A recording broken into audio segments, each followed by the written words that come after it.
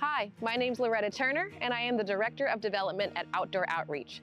Since 1999, Outdoor Outreach has impacted the lives of nearly 20,000 youth with meaningful experiences in the outdoors. We know that nature-based recreation is a critical resource for community health and well-being, but one that youth from low-income communities have faced challenges in accessing. From the cost of gear, to a lack of transportation, to feelings of exclusion in the outdoors. Many youth in San Diego haven't had opportunities to connect to the outdoors in meaningful ways. And that's where we come in.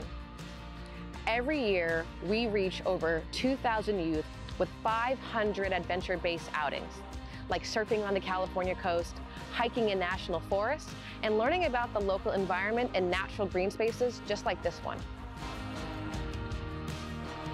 Our work is so much more than getting kids outside.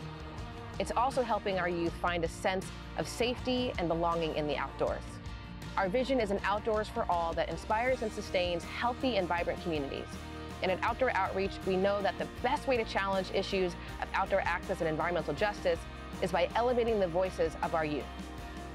With your support, you can help us to engage thousands of more youth in the outdoors as a way to build a strong sense of self, belonging, and resilience. Thank you so much for your consideration.